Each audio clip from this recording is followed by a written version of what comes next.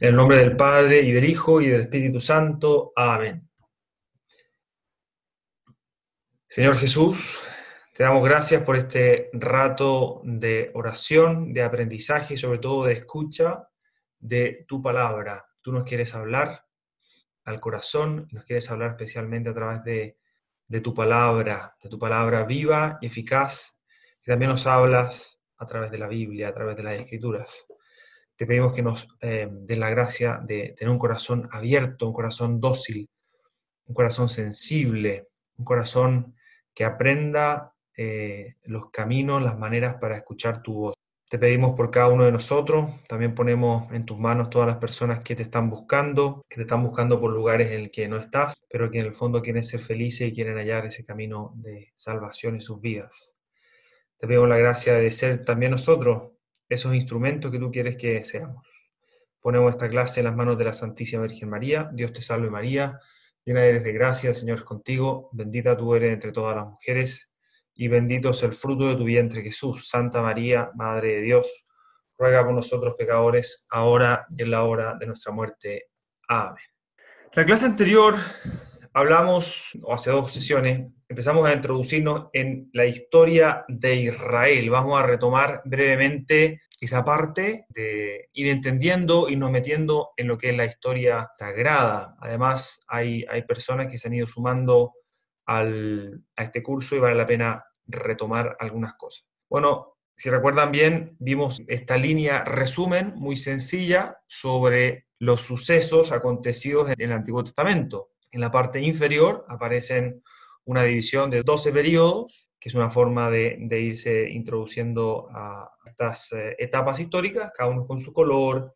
Vimos que en esta línea amarilla, que en el cursor la estoy recorriendo, aparecen algunos libros que eran claves como para entender, digamos, la ilación histórica. Obviamente hay muchos otros libros que hablan de, poesía, hablan de, de los profetas, etc. Pero a nivel histórico estos libros de acá son súper importantes. Entonces, hemos hablado mucho del Pentateuco en las últimas clases, hablamos, hablamos de Abraham, su hijo Isaac y Jacob, brevemente, y que, bueno, estos hijos de Jacob llegan a Egipto y están 400 años ahí, hasta el final están esclavizados, y Dios se le aparece a Moisés en la zarza ardiente y le manda ir a liberar a su pueblo.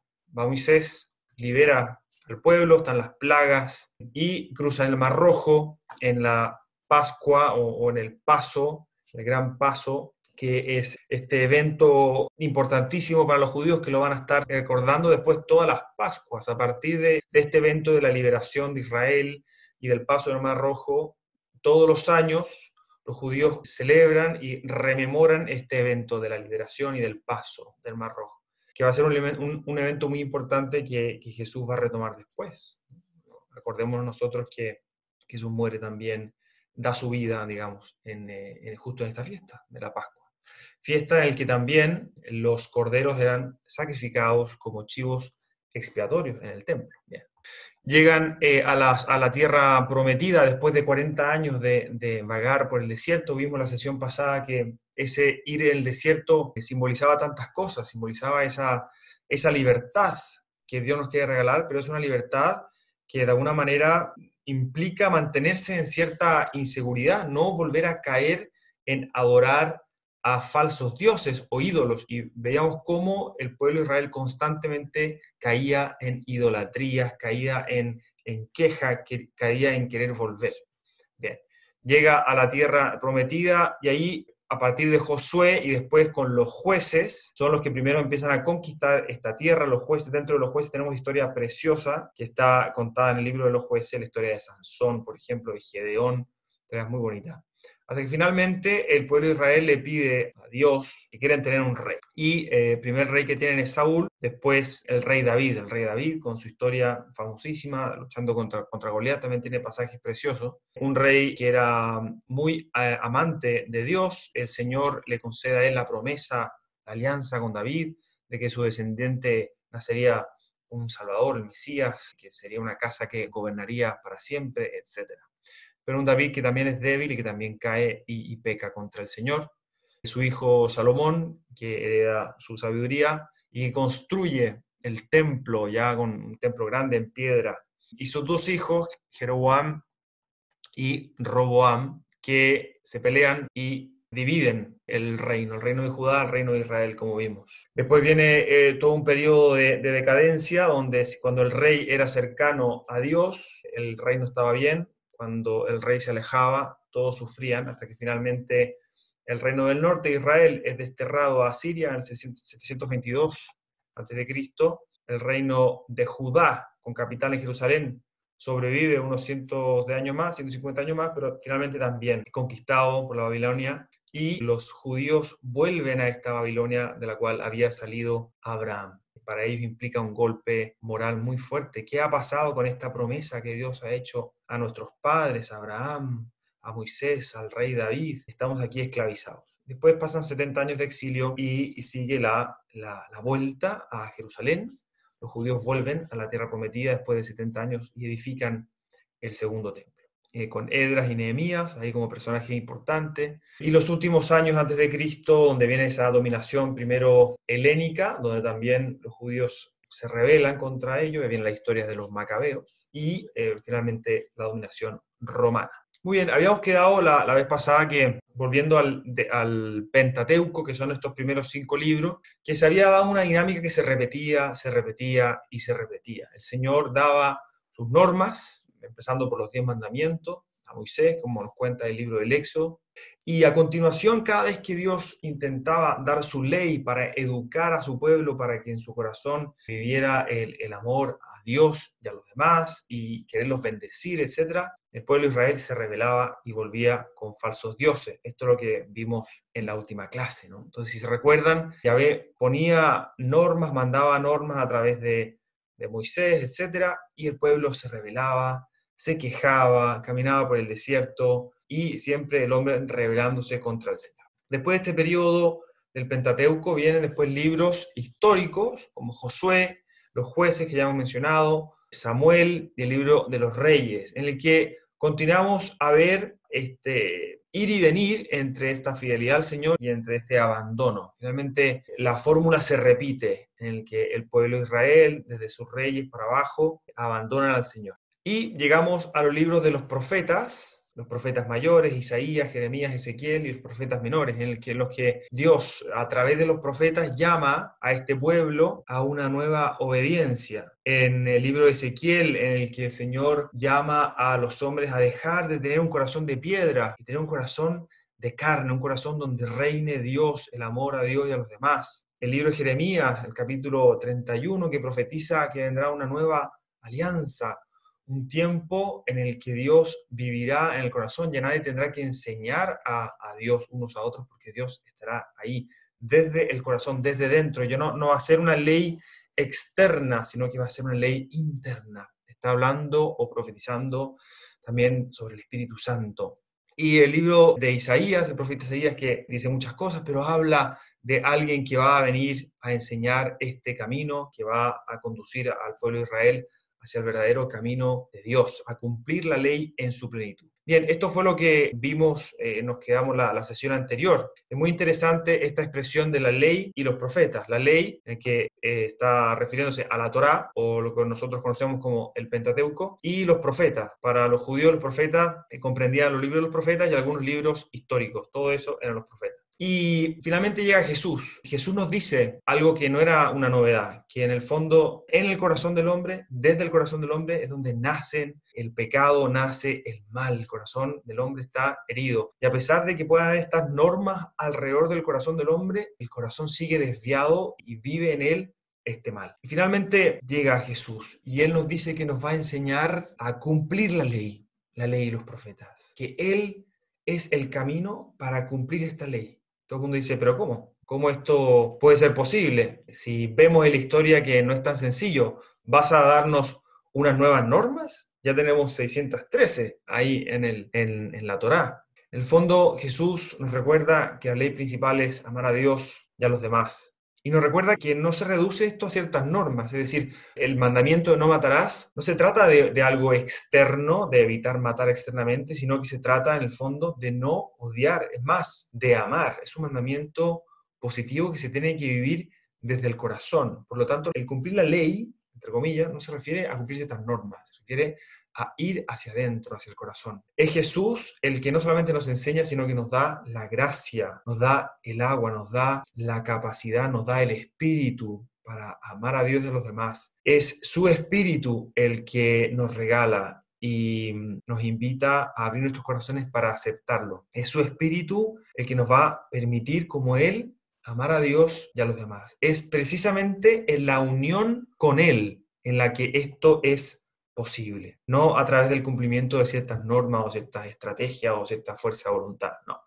Muy bien, esto es un cuadro de lo que hemos hablado hasta el momento. Entonces Jesús, aquí en el extremo derecho, se une a toda esta corriente que viene desde acá, desde el Génesis, en la que Dios crea al hombre para hacerlo su partícipe, su socio, su compañero, para bendecirlo y a través de él bendecir el mundo. Esta bendición original el Señor la intentará hacer después a través del pueblo de Israel. Él quería formar un pueblo de sacerdotes, de santos, para que en el pueblo de Israel y a través del pueblo de Israel mostrara al mundo lo que significaba vivir en, el amor a Dios de los demás. Y es con Cristo, con Jesucristo, en el que Él quiere expandir esta bendición y esta oportunidad de ser reflejo del amor de Dios y socio, partícipe, en el fondo, mucho más que eso, hijos e hijas de Dios, lo quiere extender a todos quienes acepten a Dios, comulguen con Él. Muy bien, aquí vamos a, volver un poco a la, a la, composición de la Biblia, vamos a tener un paréntesis sobre algunos aspectos de la Biblia. ¿Se acuerdan bien? Hemos estado hablando de la ley y los profetas. Aquí, si seguimos el cursor en verde, la ley estamos hablando de este Pentateuco y los profetas podemos estar hablando de todo lo que está en estos libros de verdes oscuros y amarillos, lo que son los profetas mayores y profetas menores. Prácticamente, ley y profetas. Para los judíos también, como hemos visto, algunos libros históricos forman parte de este compendio de los profetas. Pero faltan los libros sapienciales o, poéticos. Entonces, para, los judíos, su Biblia comprendía estos tres elementos. La Torah, Pentateuco para nosotros, Nevi'im, que son los profetas, y Ketuvim. Ketuvim son los escritos, se refiere a los escritos poéticos. Entonces, esta era la, Biblia antigua, la Biblia judía de siempre. Se hablaba mucho de la ley y los profetas, eh, refiriéndose a la centralidad de estos dos conjuntos de libros, que era sobre todo enseñanza, los que tuvimos era más como reflexión, eh, poesía, eh, sabiduría, etc. Pero ¿qué pasa? Que nuestra Biblia, en el nuestro Antiguo Testamento, tenemos una composición un poco diferente. Tenemos el Pentateuco, como hemos dicho, tenemos los libros poéticos y tenemos una división. Eh, hemos dividido los, libros históricos y los profetas. Podríamos decir que tenemos estos cuatro tipos de, de libros en el Antiguo Testamento. ¿De dónde viene esta composición?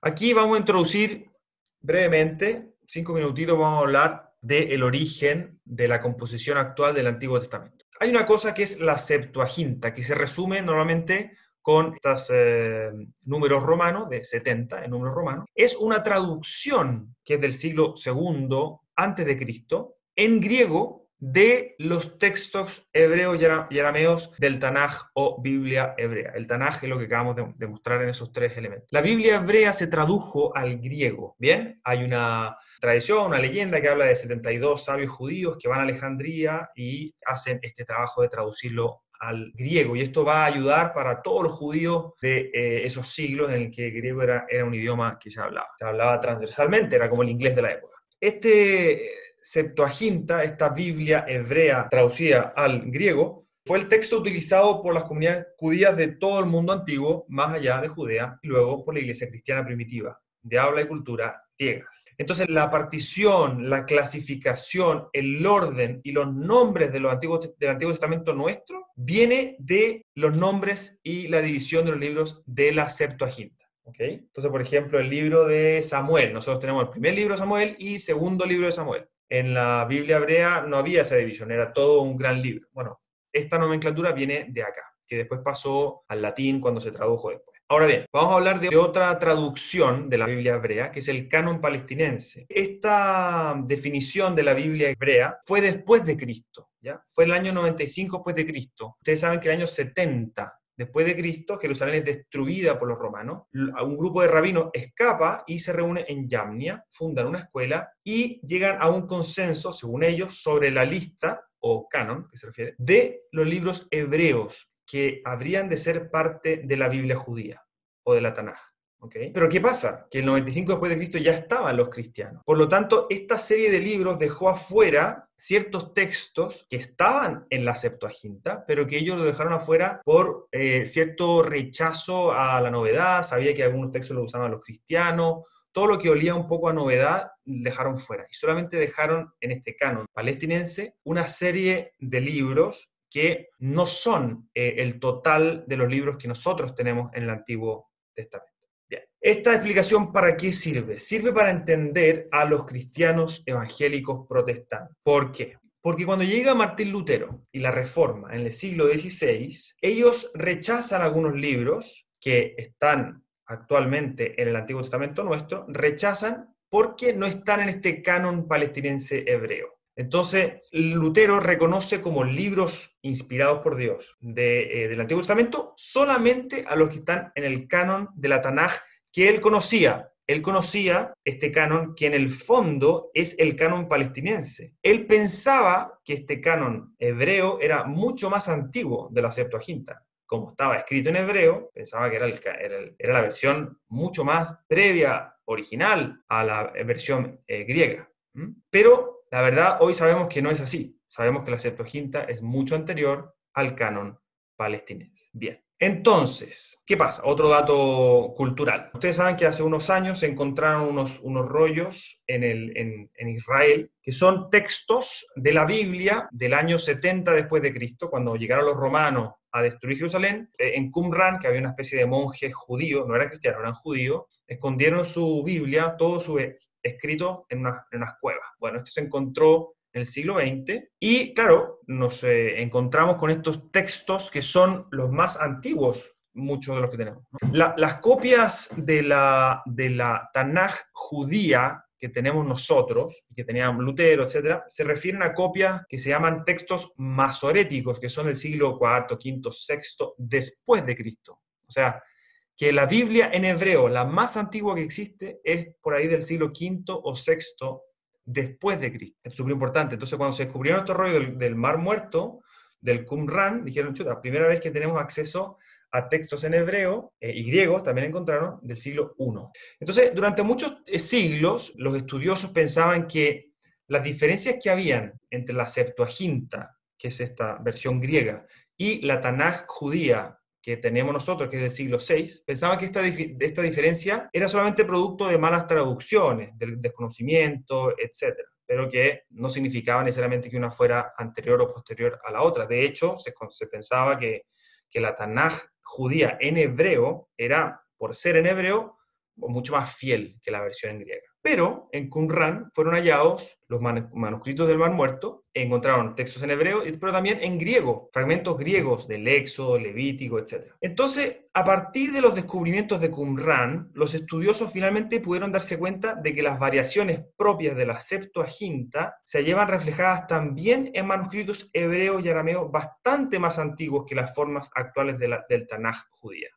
Entonces, una lectura atenta de los códices griegos revela que los textos asentados en la Biblia de los 70 representa fielmente, con certeza total, textos en un estado primitivo, carente de un estilo pulido y acabado que está en el actual texto hebreo arameo masorético. Esto lo tomé de la Wikipedia. Lo que esto significa es que nuestro Antiguo Testamento, que viene de la traducción griega de la Septuaginta, representa textos mucho más antiguos que las actuales Biblias en hebreo y que las versiones del Antiguo Testamento protestantes y evangélicas que se inspiran en este canon palestinense, que son textos masoréticos del siglo V o VI después de Cristo. Entonces, cuando un evangélico viene y te dice, no, nosotros solamente aceptamos los textos hebreos porque son más originales, ustedes aceptan la versión griega, en el fondo, él está asumiendo que un texto que del siglo, primero, de un canon del siglo, después de Cristo, del siglo I, y con textos del siglo 5 6, eh, está prefiriendo eso a la versión de antes de Cristo en griego. Entonces, lo que nosotros conocemos como el Antiguo Testamento viene de esta traducción en griego. Y lo, lo, que nosotros sabemos es que todo el Nuevo Testamento, con excepción de algunas partes del Evangelio de Mateo, fue escrito también en griego. Vamos aquí a cerrar este paréntesis, no sé si para algunos fue un poco elevado, pero muy interesante. Eh, hemos hablado de algunos aspectos de línea teológica, de composición de la Biblia. Bien, vamos a volver sobre los otros aspectos más de mensaje y de, de libros históricos en la Biblia. Les invito a abrir su Biblia en el Evangelio de San Juan, capítulo cuarto.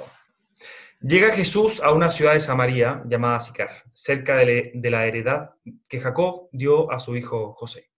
Allí estaba el pozo de Jacob. Llega una mujer de Samaria a sacar agua. Jesús le dice, dame de beber, pues sus discípulos se habían ido a la ciudad a comprar comida. Le dice a la mujer samaritana, ¿cómo tú, siendo, siendo judío, me pides de beber a mí, que soy una mujer samaritana? Porque los judíos no se tratan con los samaritanos. Jesús le respondió, si conocieras el don de Dios y quién es el que te dice, dame de beber, tú le habrías pedido a él y él te habría dado agua viva. Le dice la mujer, Señor, no tienes con qué sacarla y el pozo es hondo. ¿De dónde pues tienes esa agua viva? ¿Es que tú eres más que nuestro padre Jacob, que nos dio el pozo, y de él vivieron él y sus hijos y sus ganados? Jesús le respondió, todo el que beba de esta agua volverá a tener sed, pero el que beba del agua que yo le dé no tendrá sed jamás, sino que el agua que yo le dé se convertirá en él en fuente de agua que brota para vida eterna. Le dice la mujer, Señor, dame esa agua para que no tenga más sed y no tenga que venir aquí a sacarla. Él le dice, vete, llama a tu marido y vuelve acá. Respondió la mujer, no tengo marido. Jesús le dice, bien has dicho que no tienes marido, porque has tenido cinco maridos, y el que ahora tienes no es marido tuyo. En eso has dicho la verdad. Le dice la mujer, Señor, veo que eres un profeta. Nuestros padres adoraron en este monte y vosotros decís que en Jerusalén es el lugar donde se debe adorar. Jesús le dice, créeme mujer, que llega la hora en que ni en este monte ni en Jerusalén adoraréis al Padre. Vosotros adoráis lo que no conocéis, nosotros adoramos lo que conocemos, porque la salvación viene de los judíos. Pero llega la hora, ya estamos en ella, en que los adoradores verdaderos adorarán al Padre en espíritu y en verdad porque así quiere el Padre que sean los que le adoren. Dios es espíritu, y los que adoran deben adorar en espíritu y verdad. Le dice la mujer, sé que va a venir el Mesías, el llamado Cristo. Cuando venga, nos lo explicará todo. Jesús le dice, yo soy el que te está hablando. Muy bien, vamos a tomar este pasaje del Evangelio precioso en el que Jesús se encuentra con esta mujer mujer que buscaba eh, su paz, su felicidad en tantos lugares y no lo hallaba. Jesús que sabe, conoce a esta alma atribulada y la va, va en su búsqueda. Pero aquí hemos hablado mucho del agua. Y esta imagen del agua es em, una figura que atraviesa la Biblia en diferentes lugares y en diferentes momentos de la Biblia. Si nos vamos al Génesis, el capítulo 2, versículo 4, dice lo siguiente, el día en que hizo Yahvé Dios la tierra y los cielos, no había aún en la tierra arbusto alguno del campo, y ninguna hierba del campo había germinado todavía. Y a continuación dice lo siguiente, pero un manantial brotó de la tierra y regaba toda la superficie del suelo. Entonces Yahvé Dios formó al hombre. En la mitad del jardín del Edén brota esta fuente de agua, que es fuente de vida, para que la humanidad pueda florecer y extender la vida del jardín. El agua es figura de la vida, de la fertilidad, del desarrollo. Esa fuente del jardín se convierte en un río, se convierte en una fuente de vida y en un río que llevará el agua para regar a todo el mundo, porque todo es un don de Dios. De esto nos habla este primer libro de la Biblia. Pero, pero, el hombre arruina esto. Y finalmente, rechazando a Dios, esta fuente de bendición, el hombre la rechaza. Descubre dentro de él una sed en el que la intenta saciar en una fuente que no es la fuente de Dios. A pesar de toda esta agua que Dios le da, el hombre tiene una gran sequía por dentro. Y esta es una imagen de la condición humana. Siempre tenemos sed de más. ¿Tenemos sed de qué? Sed de más conocimiento para tener más seguridad, más control. El problema es que en nuestros términos, según nuestra opinión. Y al final solo deja al hombre más seco y más vacío. más lejos del jardín. ¿Y dónde queda? Lejos de este jardín, de vuelta al desierto, sin el agua de la vida, por lo cual no se puede comunicar la vida de Dios dentro del mundo. Y esto se repite.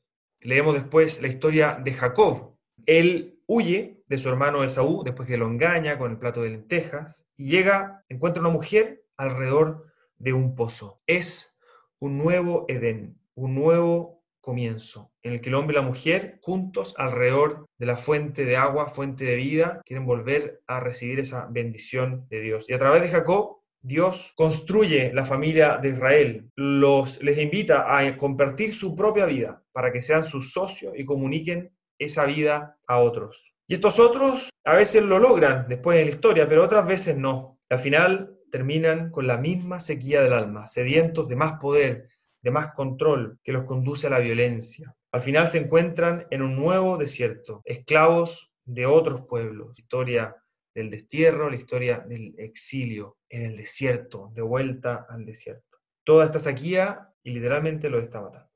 Algunos profetas empiezan a hablar de un nuevo nacimiento. Ezequiel, por ejemplo, en el capítulo 37, describe a Israel en el exilio como un valle desértico lleno de huesos secos. Dice así, entonces me dijo, hijo de hombre, estos huesos son toda la casa de Israel. Ellos andan diciendo, se han secado nuestros huesos, se ha desvanecido nuestra esperanza, todo se ha acabado para nosotros. Por eso profetiza, les dirás, así dice el Señor Yahvé, voy a abrir vuestras tumbas, os haré salir de vuestras tumbas, pueblo mío, y os llevaré de nuevo al suelo de Israel. Es el Señor que quiere volver a poner esta fuente de vida, de vida divina, en el centro del corazón de Israel, en el centro del corazón del hombre. Dios dará su propio espíritu de vida para regar la tierra y generar un nuevo Edén y nuevos hombres, personas que puedan dar la vida de Dios a otros. Dar la vida de Dios a otros. El Señor no solamente me regenera por mí mismo, sino para que yo pueda vivir esta vocación más profunda que tengo, que es la de dar vida de Dios a otros. El mismo libro de Ezequiel, el capítulo 47, habla de un río que fluye del templo. Dice así, me llevó a la entrada del templo y aquí que debajo del umbral del templo salía agua en dirección a oriente. Me dijo, a orillas del torrente, a una y otra, y otra margen, crecerán toda clase de árboles frutales, cuyo follaje no se marchitará y cuyos frutos no se agostarán. Producirán todos los meses frutos nuevos, porque esa agua, esa agua viene del santuario. Sus frutos servirán de alimento y sus hojas de medicina. Esta agua que sale del santuario está destinada a dar fruto, fruto en mi vida, fruto que servirá de alimento, es decir, servirá de alimento para mí y para otras personas, y sus hojas de medicina para otros. Muy bien, y llegamos también al profeta Isaías, que nos dice, en el capítulo 55, oh todos los sedientos, id por agua, y los que no tenéis plata, venid, comprad y comed, sin plata y sin pagar vino y leche. ¿Por qué gastar plata en lo que no es pan, y vuestro jornal en lo que no sacia? Hacedme caso y comed cosa buena, y disfrutaréis con algo sustancioso. Aplicad el oído y acudid a mí, oíd y vivirá vuestra alma, pues voy a firmar con vosotros una alianza eterna las amorosas y fieles promesas hechas a David. Y el Salmo, el Salmo primero, precioso como comienza el libro de los Salmos. Dichoso el hombre que no sigue el consejo de los impíos, ni en la senda de los pecadores se detiene, ni en el banco de los burlones se sienta, mas se complace en la ley de Yahvé. Su ley susurra día y noche. Es como un árbol plantado junto a corrientes de agua, que da a su tiempo el fruto y jamás se amustia su follaje. Todo lo que hace sale bien. En el Evangelio Jesús se cruza en una ocasión con, un, con una higuera y la encuentra con mucha rama, pero sin fruto, y Jesús la maldice. El Señor nos invita a nuestra vida a dar fruto, a dar fruto. Y aquí yo me pregunto, les pregunto, ¿cómo está el fruto en mi vida? No, padre, es que yo ahora estoy en, no sé, estoy estudiando, estoy en preparación, más adelante, cuando sea más grande, cuando haga esto, cuando haga esto otro, ahí sí voy a empezar a dar fruto, ahora no. Ya. Sin embargo, Jesús nos invita a dar fruto ahora. Cada momento en mi vida es una oportunidad. Es una oportunidad para vivir nutriéndome de Dios, bebiendo esta agua, para dar fruto. ¿Cuál es el fruto que estás dando hoy? No, Padre, la verdad es que siento que no estoy dando nada de fruto. Siento que mi vida es estéril. Bueno, ¿qué agua estás bebiendo? Es decir, ¿dónde estás plantado? Plantarme junto a las corrientes de agua. Mis raíces, ¿qué agua están bebiendo? Qué bonito es empezar a sentir sed de Dios, sed de la palabra de Dios. ¿En qué alimento mi alma? Aquí la tengo que alimentar, en la Sagrada Escritura, en la palabra de Dios. Ser como un árbol plantado junto a las corrientes de agua. Que mis raíces sean rosadas, tocadas por esta agua que fluye, por esta sequía, por este río. Eh, las raíces de mi alma, mis momentos de silencio, mis momentos de lectura, mis momentos de reflexión. ¿En qué agua estoy bebiendo? Esa es la, ese es el agua que me va a llenar de vida me va a empezar a, dar fruto para que yo también ser transmisor de vida para los demás. Y bueno, llegamos al Evangelio de San Juan, que estábamos leyendo, el pozo de Jacob con la mujer samaritana. Y esta mujer que se encontraba eh, pues desesperada, dijo que tenía cinco maridos, ¿verdad? Cinco maridos. Estos cinco maridos simbolizan quizás a los dioses, importados por cinco poblaciones paganas. En Samaria, en un tiempo se habían importado cinco pueblos diferentes, cada uno con una divinidad diferente. Simboliza quizás esto a todos esos falsos dioses que estamos persiguiendo en nuestra vida. Eh, si alguien puede leer en el libro de, el segundo libro de los Reyes, capítulo 17, 24. Eh, yo leo si queréis. Ya, em, el rey de Asiria hizo venir gentes de Babilonia, de Cutá, de Abá, de Hamat y de Serfadián, y los estableció en las poblaciones de Samaria, el lugar de los israelitas. Ellos tomaron posesión de Samaria y habitaron en sus ciudades. Muy bien. Bueno, aquí este libro, el segundo libro de los reyes, nos habla de estos cinco pueblos que son asentados en Samaria. Esta es la raíz porque los judíos em, de, alguna manera despreciaban a los samaritanos, los veían como no parte del pueblo de Israel. Cinco pueblos extranjeros que veneraban a cinco dioses diferentes. En nuestra vida, ¿cuáles son quizás esos cinco dioses que nosotros constantemente caemos y caemos y volvemos y volvemos? El Señor promete, transforma esa situación de desolación, de desorientación, ¿verdad? En agua viva, agua que nos va a saciar nuestra sed y que nos va a devolver nuestro verdadero rostro, nuestra verdadera dignidad, nuestra verdadera, identidad como hijos e hijas de Dios, con una misión también preciosa que es ser bendición, ser fecundidad, ser fruto y ser transmisores de vida para otros. Hoy en día, ¿cuál es el fruto que Dios te invita a dar? Quizás no es hacer grandes cosas, pero sí ser transmisor, ser un cable que comunique la corriente divina a otros. Cuando, la, cuando las personas te conozcan en profundidad, ¿a quién ven en el fondo de tu corazón? Ven una persona de esperanza, de paz, de bondad, de felicidad. Ven una persona de adoración, un hijo y una hija de Dios. Si conoceras el don de Dios, si conociéramos este don que Dios nos quiere dar, nos acercaríamos a esta agua y nos plantaríamos al lado de este río. El que beba de esta agua no tendrá sed jamás. Esto implica un acto de confianza. Adorar al Padre en espíritu y en verdad. El beber de esta agua nos va a llevar a encontrarnos con esta verdadera identidad de hijos de Dios, hijas de Dios y adoradores de Él. Muy bien. Esto es lo que Jesús me quiere regalar, esta paz, esta felicidad, esta fecundidad y sentir que mi vida está dando fruto, sentir que mi vida eh, tiene un sentido, tiene una dirección. Si alguno tiene sed, que venga a mí y beba. Esto Jesús lo dirá en el capítulo 7 de San Juan, tres capítulos después, en el que vuelve a usar la imagen del agua. Si alguno tiene sed, que venga a mí y beba. Y Jesús en la cruz, cuando el soldado le atraviesa el costado, nos dice el Evangelio que sale de su corazón sangre y agua. Sangre y agua. Es esta agua la que riega el mundo y es Jesús mismo el que se convierte en esta fuente de agua.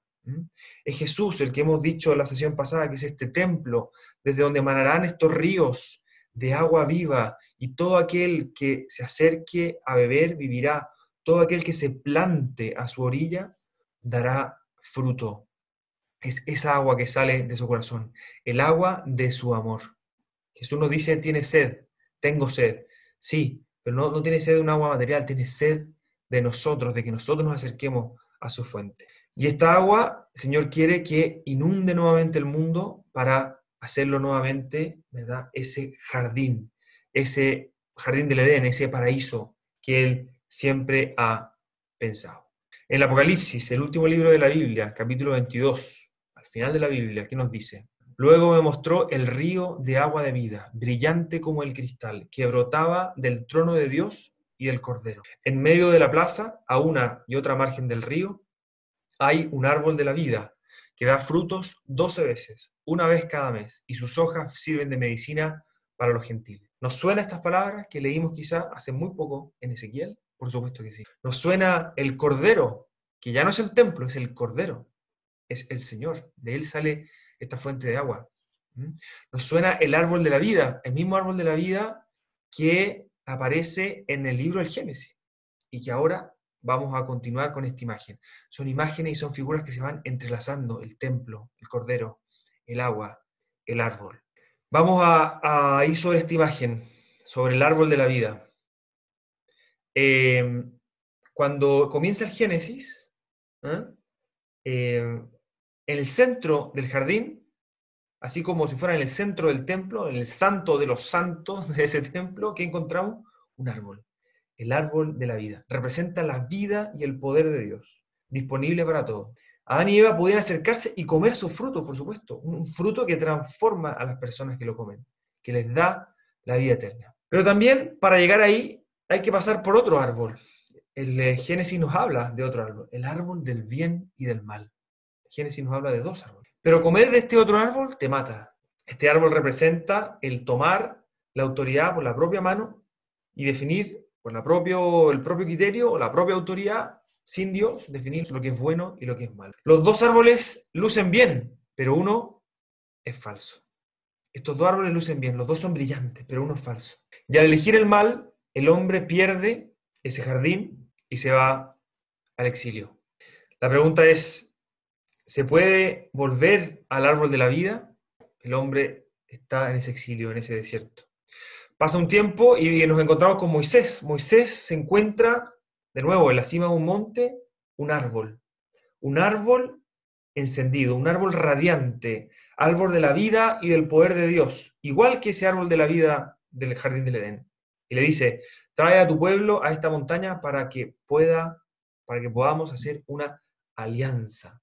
Y esta alianza les enfrenta a una decisión o siguen sus falsos dioses o reciben vida del Dios verdadero. ¿Y qué es lo que deciden ellos? Elegir los dioses falsos.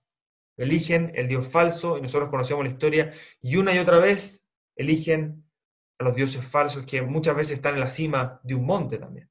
Muy bien.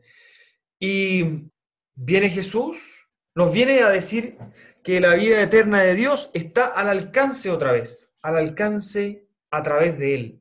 ¿Por qué? Porque Él se define como el árbol de la vida. A eso se refiere cuando Él se presenta como la vid, la vid y nosotros los sarmientos. Él es la vid que da la vida de Dios al mundo y nos invita a comer de Él, a confiar en Él, a ser transformados por su vida.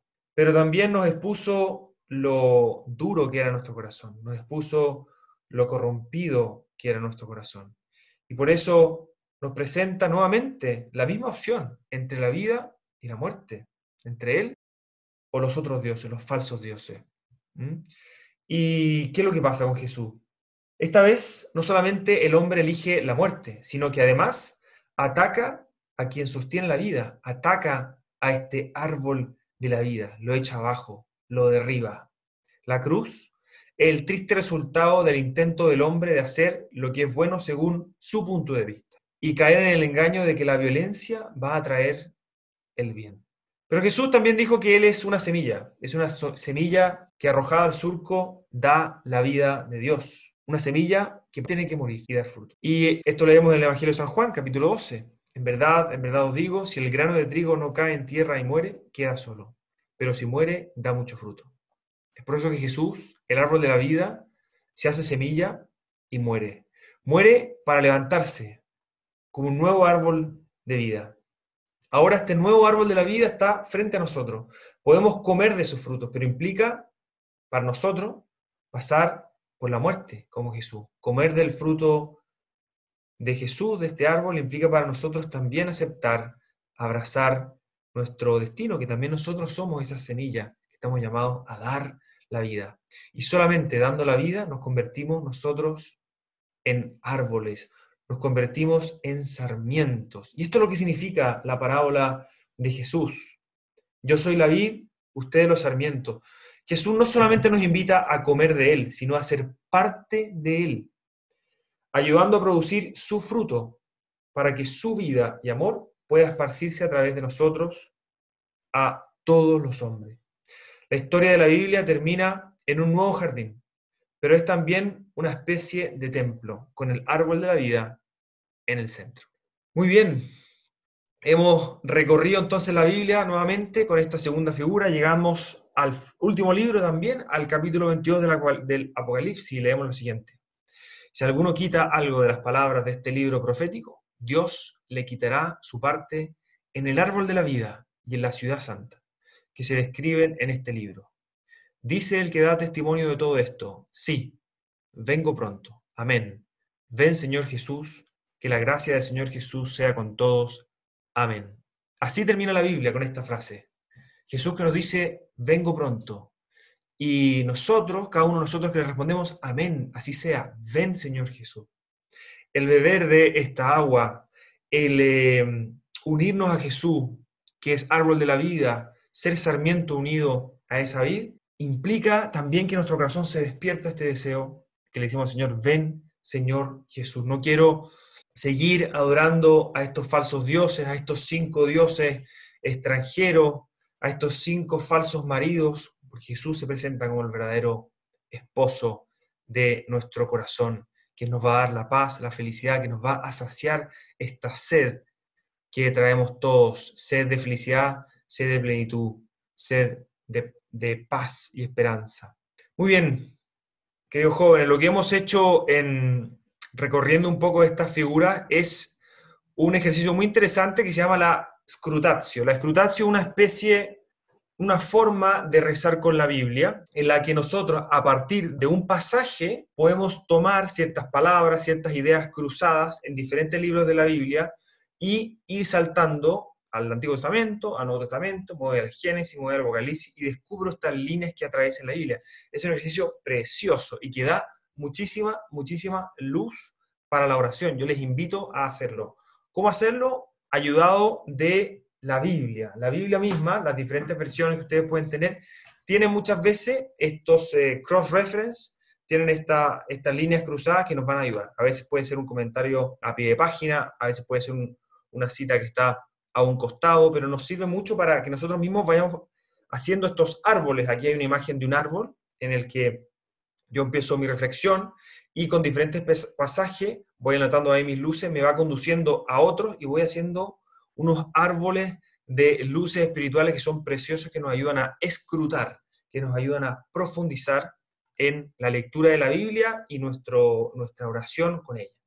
Por ejemplo, hay, eh, eh, para hacer escrutacio, yo creo que de las mejores Biblias que existen, es la Biblia de Jerusalén, ¿no? Esta es la que, por ejemplo, la Biblia que yo tengo acá, es una Biblia de Jerusalén, en la que no solamente tiene muy buenos comentarios al, pie, sino que tiene referencias cruzadas que nos pueden servir mucho.